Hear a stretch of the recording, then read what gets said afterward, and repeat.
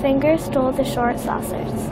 The work that I do in the Listening and Learning Lab focuses on children who have unilateral hearing loss or mild bilateral hearing loss. Bilateral hearing loss means you have hearing loss in both ears. So in our case, these children have a what would be considered a mild degree of hearing loss, but it's, it occurs in both ears.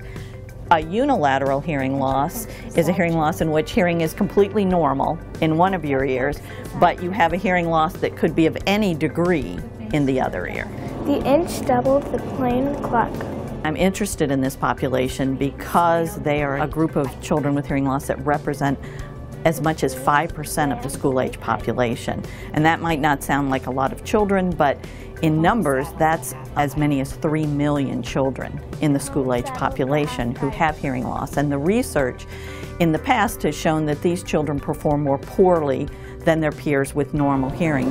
The envelope accidentally shook the weather. We are interested in examining in complex listening environments like classrooms, what are the underlying factors that are really playing a part in the difficulties that these children are experiencing. We designed the lab to enable us to do multiple different tasks that allow us to adjust the acoustics. We have an innovative head tracker that they wear on their head that allows us to monitor that looking behavior in a very fine-grained way. And those together give us a little more information about how this looking behavior in the children is affected by the acoustic environment. The festival handles the lazy dog. The current tasks we're doing, the, the talkers are being shown individually. So the screens are blank until the talker begins to speak and then that talker appears on the screen for that particular task. So we have the flexibility to adjust the audio-visual stimuli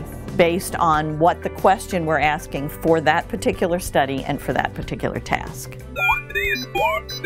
Another study that we're doing to look at how children understand speech that's degraded is going to be conducted in this space. And here they'll be listening to very degraded speech, which is sine wave speech, sounds kind of like R2D2 talking, or speech that we've added a, some modulation to give it a little more grouping so that it sounds more speech-like, and then real speech in noise. Birds like that information will help us when we think about children trying to listen to speech in the world where some talkers are much clearer than other talkers, where background noise can interfere with your ability to hear all the components of speech. How well can you take the information that's available to you and use that information?